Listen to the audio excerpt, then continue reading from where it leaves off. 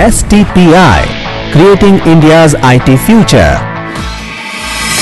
Single window clearance, Datacom services, incubation services, 52 centers across India, regional development, substantial contribution to GDP, foreign exchange earnings.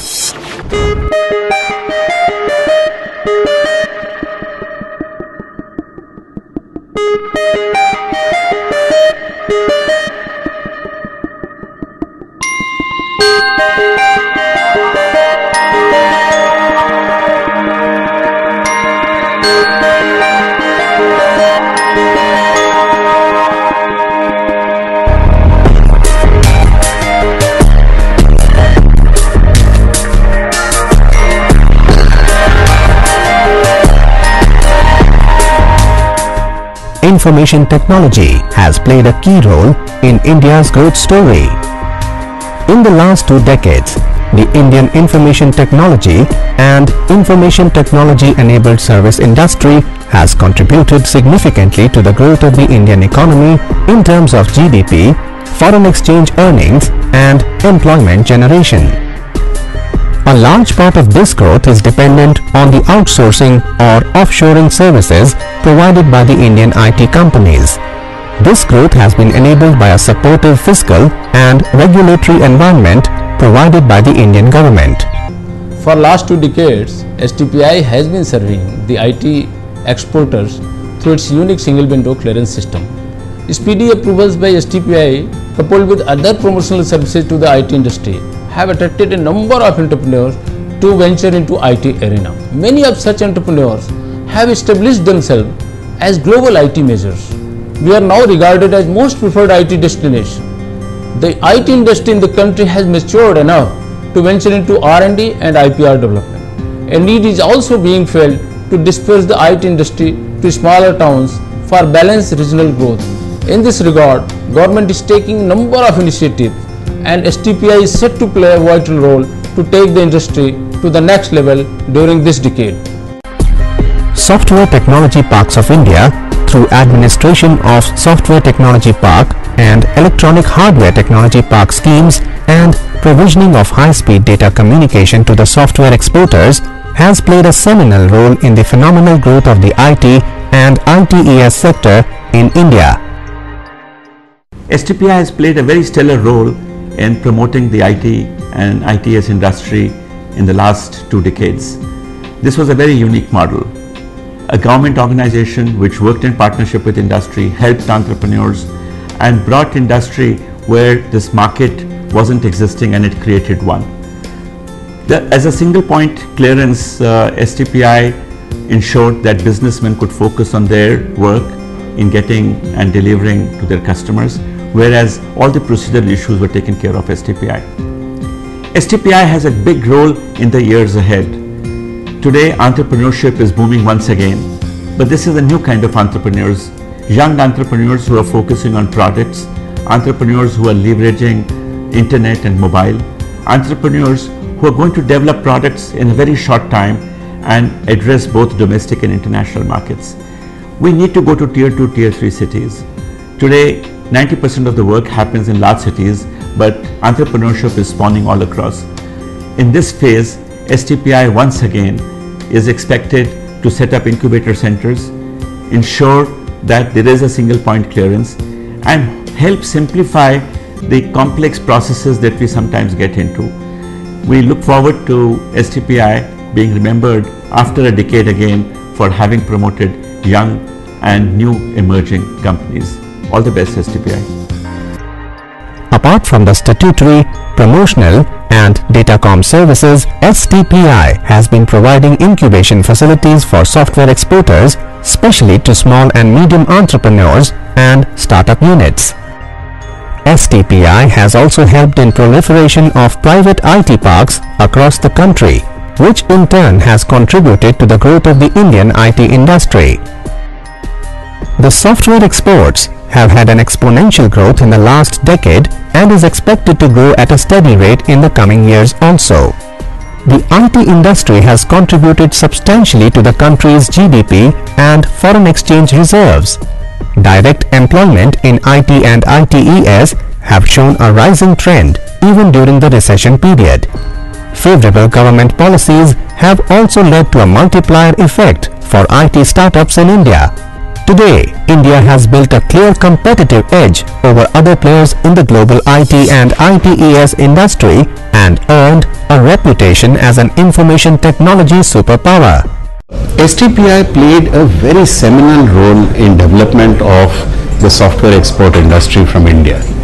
Uh, you know, this was pre-liberalization time and during that time it created an island where software exporters could actually move in and live their dream. Uh, it did provide tax incentives, you know, a whole lot of the inspector, uh, the customs and all of that stuff was entirely avoided if one operated out of STPI. But more importantly, it became a place where incubation of software export could happen people could move in there, uh, you know, the consultation would be provided, uh, they would have, uh, you know, high-speed links, and because of all those reasons, uh, Indian software export success would not have happened had STPI not played that seminal role. It provided a single window clearance for various things that um, uh, companies wanted to do. It also took information technology into tier 2 and tier 3 towns. It went to B class cities, C class cities. There are more than 50 centers that it created. And really speaking was uh, uh, was the most important factor for the development of India's software export boom. As far as the future is concerned, what STPI needs to do is to translate that same success into ESDM policy. Uh, India has had tremendous success in the software field. Can that be replicated in hardware, uh, in, in uh, semiconductors and other areas? And for that, it again needs to nurture entrepreneurship. It needs to create uh, intellectual property protection. It needs to take that advisory role. It needs to once again create that island where excellence can happen in the hardware industry. India is now regarded as one of the most favored destination for IT outsourcing. STPI was both a mentor, a guide and a facilitator to this first breed of IT entrepreneurs. This first breed of IT entrepreneurs had certain things in common. One, they did not come from business families. They came from families that may not be as affluent. There was not as vibrant an ecosystem for entrepreneurship as it exists today. And these set of entrepreneurs had a huge hunger, a huge drive, a huge aspiration to make a difference not only to themselves but to this country. And STPI was there all along that way when these entrepreneurs made a difference. Today, these entrepreneurs are ready reckoners for us and they're iconic entrepreneurs. Now is the time for the second wave of IT development in this country. The first wave was catalyzed around arbitrage. The first wave was catalyzed around the development of work in India for a client that was based outside of India the change that is coming about now, this change is driven by multiple factors. The first of that is that India itself has become a large market. There is social acceptability around entrepreneurship and there is a need for change in the economy. Today, STPI can again play the role of a catalyst and facilitator in the rollout of the second wave, which is around the domestic market which is around IPR, which is around product development and which is around the creation of products that are suited for the Indian market. These products which are based on the India price point but built for global markets will radically transform India. This success has not been achieved overnight. Initially, there were many problems for the IT entrepreneur the policies for software exports were stringent and complicated. Lack of infrastructure was impeding the development of IT industry and consequently the true potential was not being realized fully and our share of the world IT and ITES market remained rather insignificant. Keeping in view the above factors, the then Department of Electronics Government of India conceived the STP scheme to give boost to the software industry in general and software exports in particular. Software Technology Parks of India has played a very critical role in the development of the Indian software export industry. From the time they were started in 1991, they've had a phenomenal impact. As a result of STPI, all companies, big and small, were able to create their own infrastructure. There was one single point where they could get all their approvals, all their clearances, and consequently, the Indian IT industry was able to invest in its growth by building its own infrastructure, which became world class. And if we look back at the records, we would see that that is a time when the Indian IT industry began to really take off and accelerate its growth. The best thing about STPI was that it worked in close partnership with industry. In virtually all of the STPI leadership understood what the issues were. Industry and STPI sat closely, worked together, and as a result, all government policies, rules, regulations were observed without slowing down the pace at which industry could grow. If it hadn't been for the establishment of STPI, I do not think that the Indian IT industry would have crossed $100 billion today. Uh, it was very visionary leadership from the Ministry of IT at that time and from NASSCOM, which was a software industry body, to work together and architect a new scheme that virtually built our entire industry from scratch. Today, when we have crossed $100 billion, the role of STPI can be different. And I'm really delighted that STPI today, the Ministry of IT today, is looking at transforming STPI into a vehicle that will encourage entrepreneurship in the country by looking at incubation, by looking at other forms of support, training, etc. that can be done. Today, all of the investment that was made in infrastructure, in people, in government officers who understand the industry can be leveraged for what is the need of the hour. More entrepreneurs, building products, uh, an area that now needs more growth as the services industry has become mature. And I, for one, really look forward to STPI playing a critical role in its new avatar in the same way that it played in the old times when the industry got established. STPI was established and registered as a society under the Societies Registration Act 1860 under the then Department of Electronics Government of India on June 5, 1991. Initially, software technology parks STPs were established at Hyderabad, Noida, Gandhinagar and Thiruvananthapuram. In September 1991, the management of STPs at Pune, Bhubaneswar and Bangalore were also brought under STPI. The main objectives of STPI include providing the development and export of software and software services including information technology enabled services and bio-IT, providing statutory services and promotional services to the exporters by implementing software technology park and electronics hardware technology park schemes providing data communication and other value-added services to IT and ITES related industries. Promoting micro, small and medium entrepreneurs by creating conducive environment for entrepreneurship in the field of IT and ITES.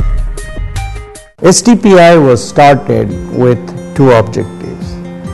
First was to decentralize decision making which till then was taking place in Delhi. And the belief was that by decentralizing, the government would be reducing friction to business for software companies. The second objective was to provide a robust data communication facility using satellite technology. I must say that this idea of Mr. N. Vittal, who was then the Secretary of the Department of Electronics, took off like wildfire.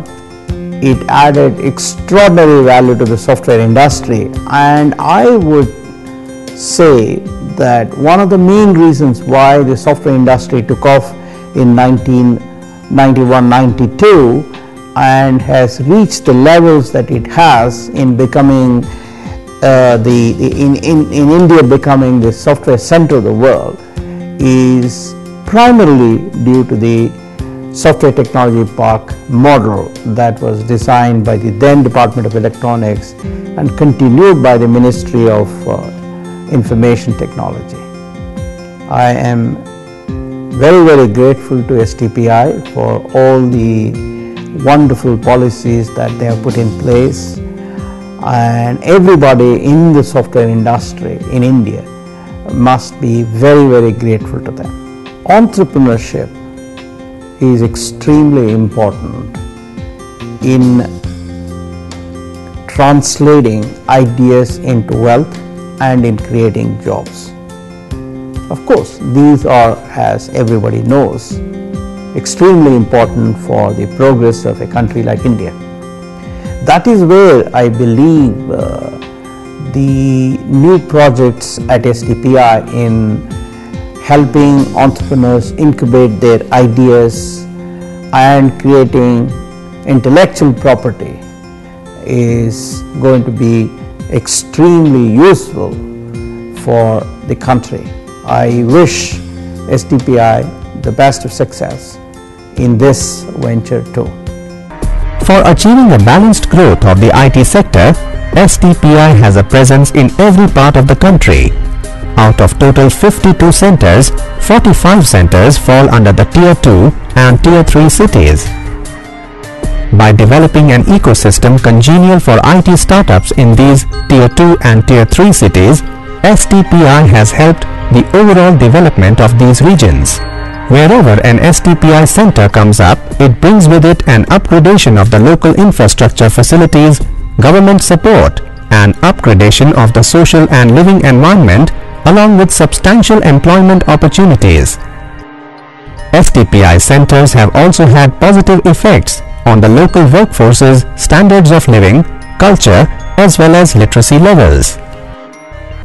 STPI has played a key role in the phenomenal development of the IT industry in the country during the last two decades.